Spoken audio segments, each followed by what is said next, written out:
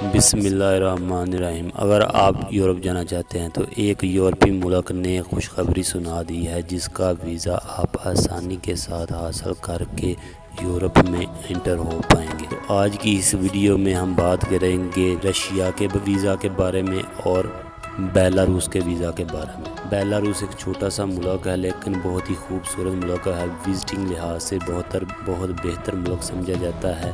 اس کا بارڈر یورپی ملک پولینڈ اور کروٹیا کے ساتھ بھی لگتا ہے۔ یہ ایک آسان ترین ذریعہ ہے جس کے ذریعے آپ یورپ میں انٹر ہو پائیں گے۔ آج کی اس ویڈیو میں میں آپ کو بتاؤں گا کہ رشیا کے ویزے کی فیس کیا ہے اور اس کی ریکوائرمنٹ کیا ہے۔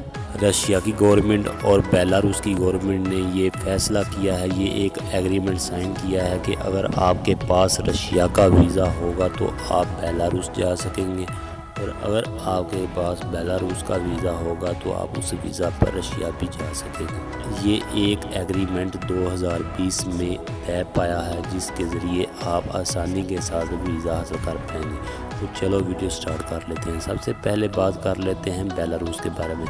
دوستو، اگر آپ بیلاروس ایک یورپی ممالک ہے، اگر آپ ادھر جانا چاہتے ہیں، تو جیسا کہ آپ جانتے ہیں کہ بیلاروس کا ویزا حاصل کرنا تھوڑا مشکل ہے، کیونکہ ادھر انویٹیشن حاصل کر کرنا پڑتا ہے۔ اس کی بجائے میں آپ کو ریکمنڈ کروں گا کہ اس سے زیادہ بہتر یہ ہے کہ آپ رشیا کا ویزا اپلائی کرے اور رشیا کا ویزا حاصل کرے کیونکہ رشیا کے ویزے کی ریکوائرمنٹ بہت کم ہے اور ہمیں آسانی کے ساتھ مل بھی جاتا ہے۔ وہ لوگ جو پاکستانی، انڈین اور بنگلہ دیشی ہیں، ان کے لیے یہ ایک سنہری موقع ہے رشیا کا ویزا حاصل کر کے یورپ میں انٹر ہونے کا۔ اب میں بات کر لیتا ہوں رشیا کے ویزا کی فیس کی۔ دوستو، رشیا کا ویزا اگر آپ سنگل انٹری ویزا لیں تو رشیا کے ویزے کی فیس ہے تیرہ ہزار روپے۔ اور اگر آپ رشیا کا ملٹیپل انٹری ویزا حاصل کریں تو اس کی فیس تقریباً بیس ہزار روپے بنتی ہے۔ اگر آپ کا ٹریول پلان کچھ ایسا ہے کہ آپ رشیا جائیں گے اور وہاں سے بیلاروس جائیں گے اور وہاں سے پھر واپس رشیا آئیں گے تو آپ ملٹیپل انٹری ویزا لیں۔ اور اگر آپ یہ چاہتے ہیں کہ آپ رشیا جائیں، رشیا سے سیدھا بیلاروس جائیں اور ادھر سے واپس آنا چاہیں، تو پھر آپ سنگل انٹری ویزا لے سکتے ہیں۔ اور میں آپ کو ریکمنڈ کروں گا کہ اگر آپ رشیا سے بیلاروس جائیں، تو آپ بس یا ٹرین کے ذریعے نہ جائیں، آپ بائی ایئر جائیں۔ کیونکہ اس سے آپ کو آسانی ہوتی ہے، ایک تو بارڈر پہ چیکنگ نہیں ہوتی اور امیگریشن بھی بیلاروس میں جا کے آسان ہو جاتی ہے۔ دوستو، اس کے بعد بات کر لیتے ہیں رشیا کے ویزے کی ریکوائرمنٹ کے بارے میں۔ رشیا کے ویزے کی ریکوائرمنٹ کچھ خاص نہیں۔ سب سے پہلے آپ نے رشیا کی ویزا اپلیکیشن فل کرنی ہے، اس پہ اپنی تصویر لگانی ہے۔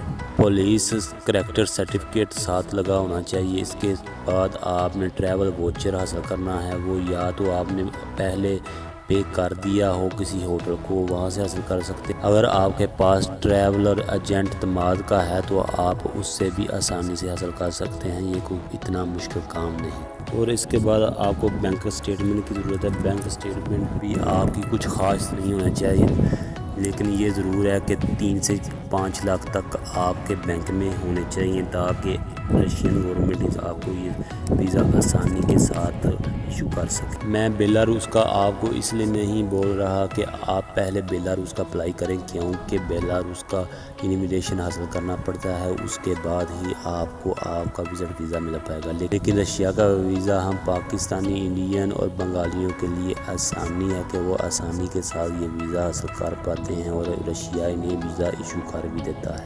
جیسے ہی لاک ڈاؤن اوپن ہوگا، میں نیچے ڈسکرپشن میں لنک دے دوں گا۔ وی ایس گلوبل کا بھی آپ ادھر بھی کنٹیکٹ کر کے پتہ کر سکتے ہیں اور ویزا اپلائی کر سکتے ہیں اگر آپ امبیسی میں کریں تو ادھر بھی کر سکتے ہیں اور ایک ضروری اور بات جو میں آپ کو بتانا بھول گیا ہوں کہ رشیا کا وزٹ ویزا کا انٹرویو لازمی ہوتا ہے۔ وہ چاہے آپ امبیسی میں اپلائی کریں یا چاہے آپ وی ایس گلوبل کے تھرو اپلائی کریں۔ تو اس کے لیے رشیا کے وزٹ ویزا کے لیے چھوٹا سا انٹرویو ضرور ہوتا ہے، لیکن اتنا خاص نہیں ہوتا، اتنا مشکل نہیں ہوتا، وہ آپ آسانی سے پاس کر پاتے ہیں۔ تو امید ہے یہ آج کی ہماری چھوٹی سی ویڈیو آپ کو پسند آئی ہوگی۔ اس ویڈیو کو لائک ضرور کریں اور دوستوں کے ساتھ شیئر کریں۔ ہمارے چینل کو سبسکرائب کر لیں۔ شکریہ۔